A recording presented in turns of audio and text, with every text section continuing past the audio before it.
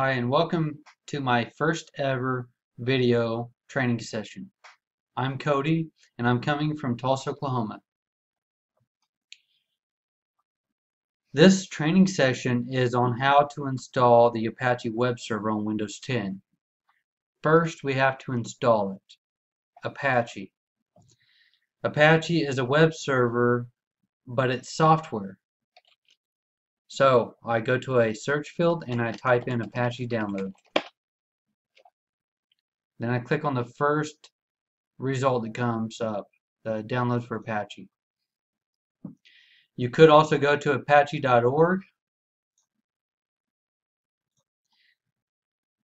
So you can see the latest stable release is 2.4.18. And you want the binaries.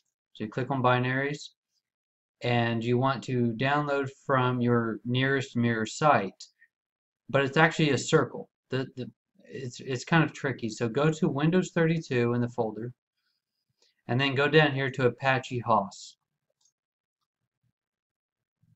And you, of course, you can pause this video anytime you like. So we have our downloads here. We have 2.4.18, but then if you go down one step further, you can see 2.4.18 x64. That's your 64-bit version of the web server. Download locations, just download it from here. It's a German mirror, but that's irrelevant. That's just the server it's coming from.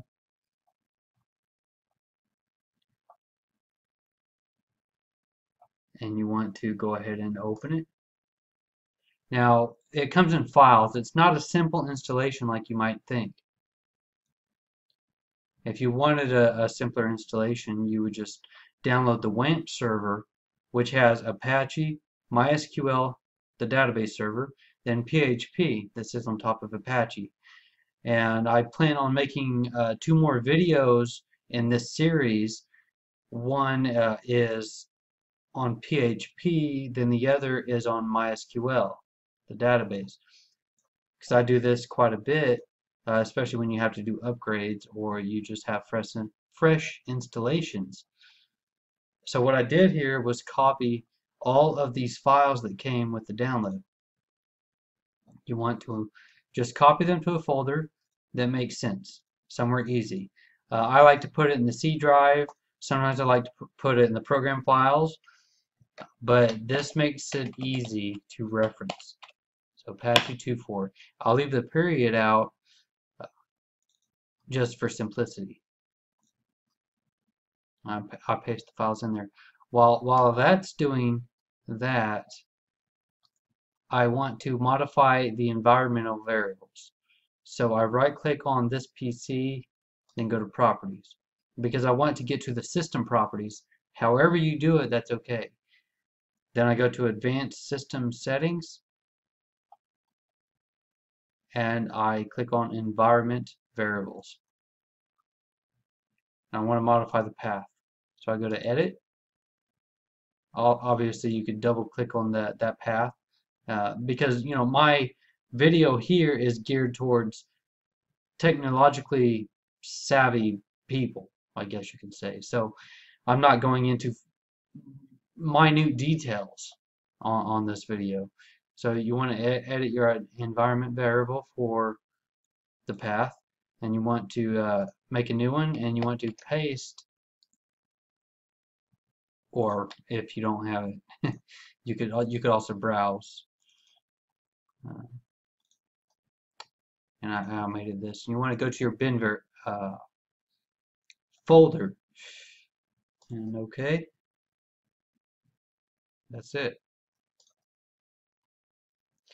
Because the uh, the the web server has a daemon that it has to run in the background. It, it's basically a service in Windows, and of course Linux is totally different.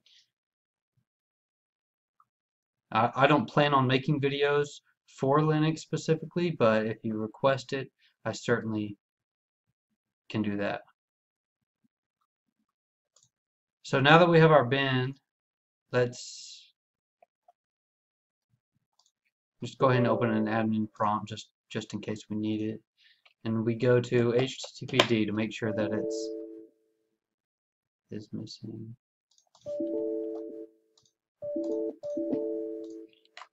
Uh, we should be able to install it at least.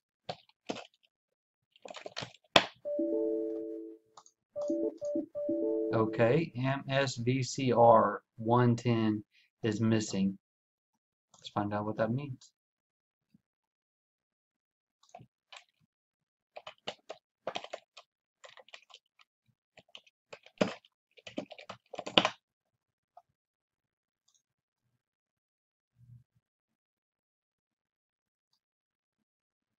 So yeah, so it's kind of like what I thought was the C++ there.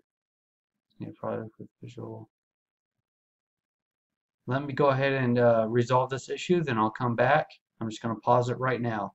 Alright, I followed this link and I installed the Visual C++, whatever it was wanting there. And uh, let's try it again. So basically, this is what we want. We want to do the hyphen K space install, and that is the command to install the daemon for for the web server because it's a service and we want it to start when our computer starts.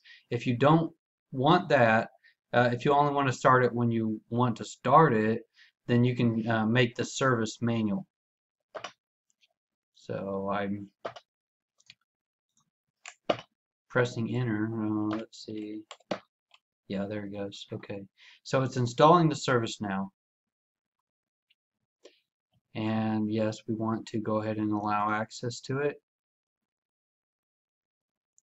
Errors reported, must be corrected. Testing. Okay, well let's try localhost. Uh, these search engines are weird about localhost, so uh, you'll, the first time at least, you'll have to put HTTP in that and then localhost. So it looks like there were errors and we go to services as you can see and we go to the Apache and we go to start. So this is the service it created. I don't know why there were errors but you can see it works. This is the screen you get where it says it works. Uh, so this is it. This is your starting point uh, where you jump off of it and you can create your websites. Uh, obviously, PHP isn't installed right now, so it's not very dynamic, uh, but it's very easy, actually. So your index page here, if you go and you open it in Notepad, uh, you will see the code.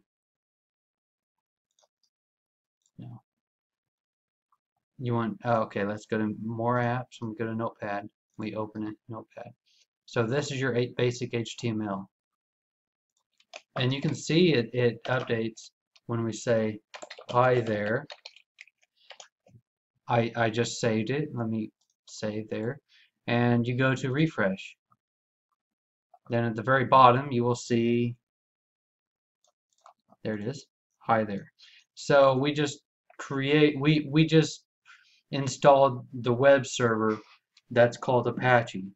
And it, it was kind of fairly simple, but again, like I say, even though I haven't much experience doing this, you, you still run into problems and you just have to know how to fix them. Um, it, it, could be very tricky. Obviously, uh, feel free to message me, contact me, leave a comment in the YouTube video, and uh, just stay tuned for uh, upcoming videos. Basically installing PHP on top of Apache uh, then installing the database server which is MySQL. And uh, all of these packages are free. Uh, Apache is the open source PHP I believe is open open source. Uh, MySQL they have a, a commercial versions as well as this version which is also free it is uh, open source, I believe. I mean, I would have to verify, but all right. So we we got you this far in Apache. Uh, I don't know what questions you may have, but that's it. Uh, I'm Cody uh, here in Tulsa, Oklahoma. and uh, my my websites are geeksarehere.com. Also, I have techdistress.com um, that I haven't updated in a while, but is there.